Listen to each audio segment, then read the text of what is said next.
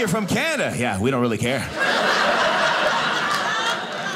it is good to be here, man. I, uh, I'm down here from Canada. That's where I'm from. Thank you. Thank you very much. Wow, that was a very American response. Oh, you're from Canada. Yeah, we don't really care.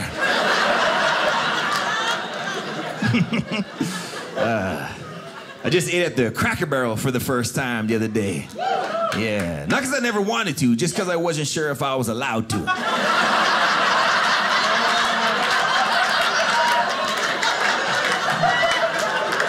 I'm gonna let that simmer for the slow people.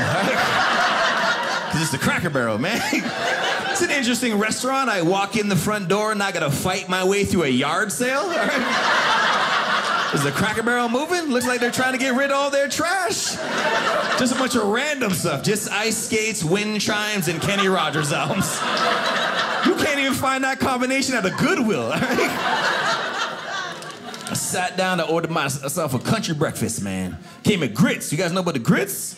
Oh man, it's my first time eating hillbilly hummus. I haven't had anything that tasty since my first grade paper mache class. Breakfast with a side of arts and crafts. If you let it sit, it turns into a concrete aggregate. Just take it home and regrout my kitchen backsplash. I had to wash it down with sweet tea. I do love me some sweet tea. That's a good drink right there. Sweet tea, oh, we don't have that in Canada. Try to explain to my friends like it's kind of like iced tea. But then you add sugar. so you can almost chew the drink. It's the deliciousness of liquid diabetes. I'm never moving home. I'm dying in America, happy with swollen ankles. I don't live in Canada anymore. I live, uh, I live in Atlanta, Georgia now. That's where I live now. I moved there because they had a Six Flags amusement park. That is the only research I did. Nobody told me they built it right in the middle of the ghetto. The scariest ride is walking from the parking lot. My brother joined me later. He's like, I didn't know Six Flags had valet service. Like, they don't. You just got carjacked. it's a big difference growing up in Canada. We get snow every year, man. You guys get snow. You can live in it. It doesn't affect you, right? You can drive. I moved to Atlanta, Georgia. They get a half an inch of snow. People go into a state of panic. We got one inch of snow a couple years ago, shut down the entire city. You know how funny that was to a Canadian? I watched people abandon their vehicles. We'll just buy a new one when the snow melts. You realize it's gonna be 70 degrees tomorrow, right? Can't hear you. I'm way to the grocery store to pick up 15 loaves of bread. Gotta make sure I'm prepared for this apocalypse. Plus, tonight will be a perfect night to get drunk because my children are trapped in school. it's like a free babysitter. Go dogs!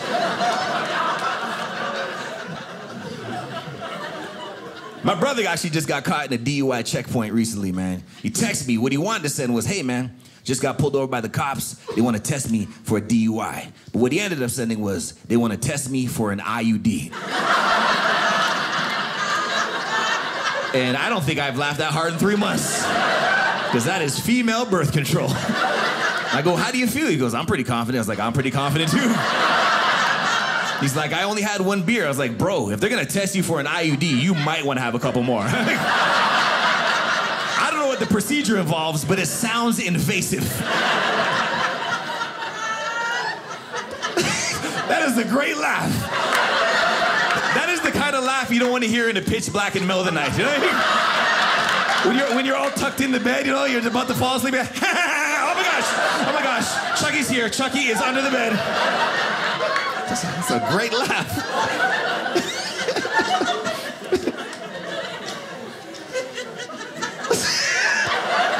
uh, it sounds like somebody's pulling your string.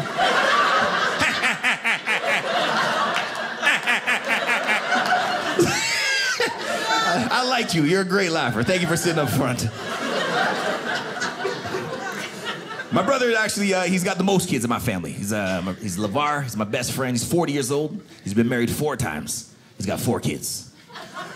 We call him the impulse shopper. He's got one kid from every marriage, which is cool, but here's a kicker. Each of the wives was a different ethnicity. So it looks less like he's had four failed relationships and more like he's a philanthropist who's adopted kids from four different continents. His family photo looks like an advertisement for Old Navy. That's awesome. He's always harping on me because I don't have any children. I'm the only one in the family that doesn't have kids. Uh, but here's the thing it's not that I don't like children, all right? It's just that I don't want to give my kids the best years of my life. I want to give them what's left. You know what I mean?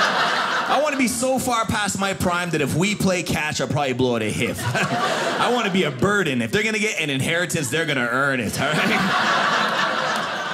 See, 15, you don't know anything about that, man. You're 15 years old, you wake up in the morning, you just spring out of bed. You don't assess your body or nothing. It's good morning. 74 can't do that. that guy go to bed perfectly fine, wake up, torn ACL.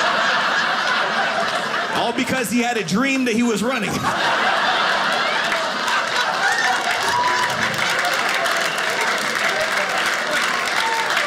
And here's the worst part, sir. You didn't even win the race. Uh, it's the joys of getting older, man. We're all, that's one thing we all have in common. We're all aging, man. Men and women alike, man. Anybody celebrating a birthday by chance in here? You, oh, we got one? That's cool. How you doing, sir? You doing all right? What's your name, my friend? Ammon. Ammon? We're gonna call you Jim, all right? So, That's a cool name. I don't. Amen. Is you sure it's not Amen? That would make more sense in this state. Was that too far? You guys can't laugh and then take the laugh back. oh, no, you can't do it. No, no, no, no. It's like an email. You already mailed it, all right? This is fun, man. Thanks for coming out on your birthday, bro. It's a cool birthday. You get to hang out with some cool people, enjoy some laughs. It's a lot better than my last birthday. I went on a field trip to the gastroenterologist. Does anybody know what they do? I didn't. Here's the thing, they thought I had an ulcer, right? So in order for them to check that, they had to um they put a camera of a place. It's attached to 137 feet of fiber optic wiring and an air compressor. I don't want to frighten anybody. They don't bring the equipment to the equation till the second appointment. They want to take it slow, get to know you better. First appointment just a regular office visit. You go in there, they ask you a bunch of questions, and the doctor throws a curveball. He's like, Yeah, I'm gonna need a stool sample. You got like a to-go cup or something, doc? Cause right now it's not a good time for me. I don't feel as I can give you what you need at this present moment. He's like, no, I'll take the sample. I was like, you'll take the sample, but it's still inside. He's like, what I need you to do is lay on the table, face the wall, pull your drawers down while he snaps on a rubber glove. And he gets the sample. And then he hands you a pamphlet after. I was like, I don't want your pamphlet, sir. You just penetrated me. As far as I'm concerned, we're now in a relationship. I'll be back at 5:30. We're going to the Cracker Barrel. But I couldn't go back at 5:30 because you gotta spend the rest of the day prepping, which means you can't eat any more solid food. You gotta take a laxative. I'm like, no problem. I've taken some Ex-Lax before. Not a big deal. Oh no. They give you a prescription to a laxative. You know you're in trouble when you go to the pharmacist. You're like, hey man, can you feel that? Yeah. what flavor did you want your liquid exorcism to be? And he comes back with like two and a half gallons of this stuff. You take it home, you pound it back, it tastes horrible. It's got like a like a weird consistency to it. And then you and then you just wait. And don't be brave. Don't try to make a quick trip to the Walmart because your schedule's been set. And it works different for everybody. I didn't think it was gonna work for me. Waited two hours, nothing happened. Three hours, nothing. So I went to sleep. Which in hindsight probably wasn't the smartest of ideas. You ever been woken up by that's some scary stuff right there. It's the middle of the night, I'm tired, I'm trying to talk myself out of it. It's like, I was gonna lay here for a little longer, just pinch my butt cheeks together. We can do this in the mornings no, you're right, go do this right now. You jump up out of bed only to find out the structural integrity of your seal had been compromised. You gotta waddle to the bathroom like a gingerbread man. And that's where you set up base camp. And I hope you know a Sherpa, you're gonna be there for a while. I blacked out twice. The second time I woke up, I couldn't feel my legs. I thought I went so hard, I paralyzed myself. But I'd just been sitting there so long that the circulation to my extremities was cut off. I couldn't feel my legs, so they fell asleep. I've never been happy to feel the excruciating pain of pins and needles as I tap my feet back to consciousness. Basically, what I'm trying to say is, happy birthday, amen. Just, just took the long route that way. uh, that's it. And are you here with your girlfriend, wife? How you doing, miss? How'd you meet her? Yeah. We're gonna go back to the creepy old guy. it's amazing what you do for somebody when you first meet them, though, right? When you're in that wooing stage, like you'll do stuff you wouldn't typically do to impress them. That's just human nature. Like my ex-girlfriend was a vegetarian. When I met her, I stopped eating meat. And I'm not proud of that. I'm just saying, like, I know I did it for her because as soon as she dumped me, I couldn't get to Wendy's fast enough. I was like, yeah, give me five baconators. trying to cover up this heartache with some angina. I didn't even eat them all. Just went home, got naked, rubbed the patties on my chest. Just, waxing on and off like a heartbroken karate kid. She wanted to change me too, man. She wanted me to cut off all my hair because she no longer found long hair on guys attractive, which was weird to me because she had really busted feet. And I'm not a feet person, but I never once tried to coerce her to go get work done on her foot hooves. I could have easily been like, yo, let's go get your reshoe. Secretariat? Let's go meet up with your buddies Hidalgo and Seabiscuit. Got some sugar cubes in it for you. Come on, yeah!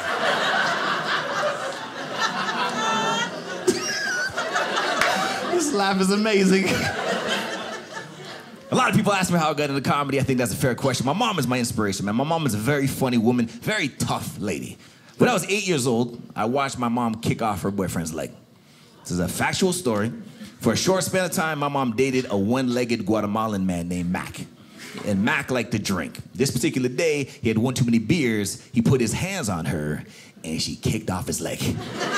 It was like FIFA soccer, the striker. And then watched his leg shoot across the kitchen, and as he fell, she yelled out timber. And my mom is not that clever, which leads me to believe she had been planning that for quite some time. Was just hilarious looking back at it, but at the time, that's very traumatizing to a kid because I didn't know he had a prosthetic limb. I thought she was a superhero, man. Captain Lumberjack or something. I told my mom I was gonna tell that story on stage. She was like, no problem. Just don't forget the part where after I beat him up, I threw his leg down the basement steps. He had to crawl downstairs to walk back up. Ain't that something? She wanted his wife wet the bed till I was 11. I was terrified, man. I got a complaint on that joke recently, man. You ever notice that the people who seem to be the most offended typically have the least right to be? You ever notice that? Everybody wants to be offended for somebody else nowadays. It's the world we live in. This lady came up to me. She's like, just stop doing that joke. It's offensive. I was like, well, it's not meant to be offensive. It's a story from my childhood. Are you an amputee? And she said, no. I go, oh, do you know some amputees? And she was like, no. Do you at least repaint handicap parking spots? Like, I don't know where your connection is to this material. And as I'm talking to her, this British guy comes out of the club and he sees me. He goes, Oh, it's the comedian. He goes, The mate. You know the joke you did about your mom and the leg? I go, Yeah, I know the joke. He goes, Bloody brilliant. And he pulled up his pants. He had a metal prosthetic. He goes, Mate, I laughed so hard I almost lost this. And I just looked at the ladies like, I don't know what to tell you, ma'am. I mean, if he's cool with it, then your argument doesn't really have a leg to stand on. And then I dabbed and I walked away. I was in England for almost a whole month, man. I don't know if anybody's ever been to England before, but if you like the taste of food, don't go to England. It tastes like the weather, real dreary. I was like, how do you take over a quarter of the planet and not learn any recipes? You guys occupied India for hundreds of years, didn't bring back no spices? Everything's got to be made with two tablespoons of sadness and a dash of I should have went to Italy. And I'm allowed to make fun of England because I'm from Canada. And that is our baby daddy. he helped make us, but he wasn't around much growing up.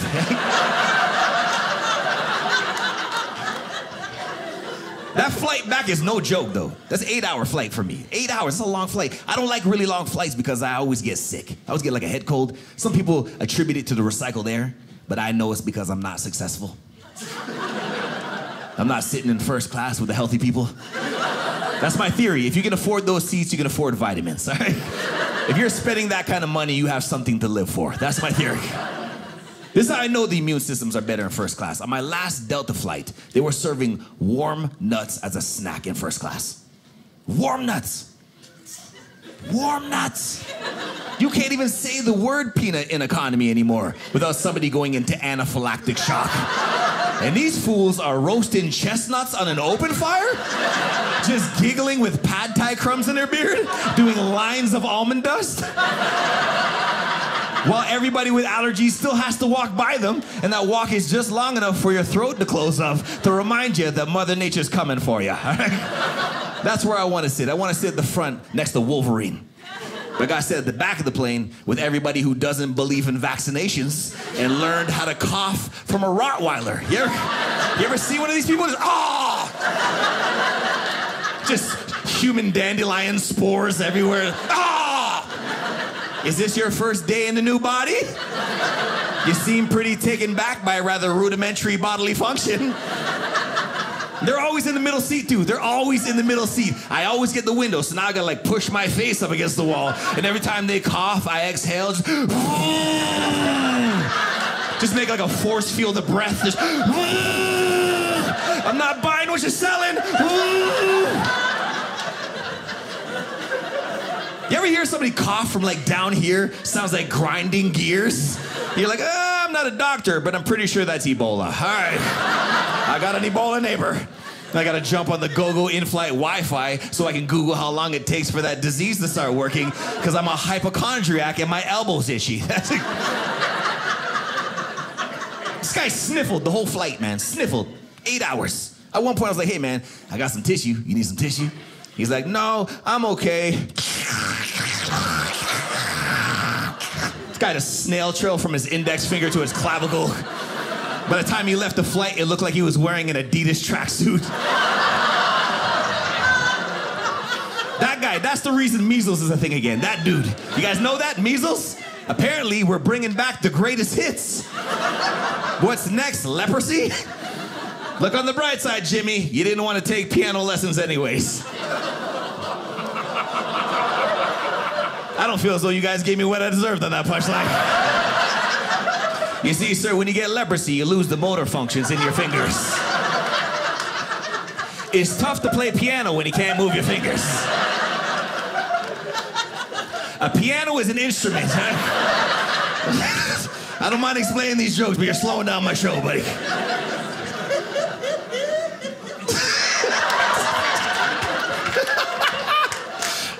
You gotta come to all my shows. You're the greatest. I don't know. I'm so tired of flying, man. You know what the problem is? You don't get to choose who you sit next to. That's the problem. You know. Well, I, my, I had one flight where the dude next to me thought I was a terrorist, man. And he was very vocal about it. I guess that's what I look like when I'm uncomfortable, sweaty, and angry. This, this just screams Taliban right here. just my jihad eyebrows. And it's funny to me because I'm from Canada. And I'm not saying there's not Canadian terrorists but there's not, all right? real tough getting your demands met with hockey sticks and maple syrup. this guy was a real jerk about it too, man. Got on his phone. He's like, yeah, I'm on the plane. That was doing well till they sat me next to a bloody Arab. So then I got on my phone and I was like, five minutes, boom!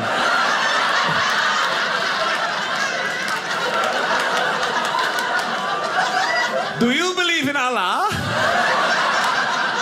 this is going to be a magnificent flight. I used my air miles. I bought my ticket for nine dollars. It's a very good price for 72 virgins. It's like 12 cents a wife. You cannot beat that. That's how you say hashtag loophole.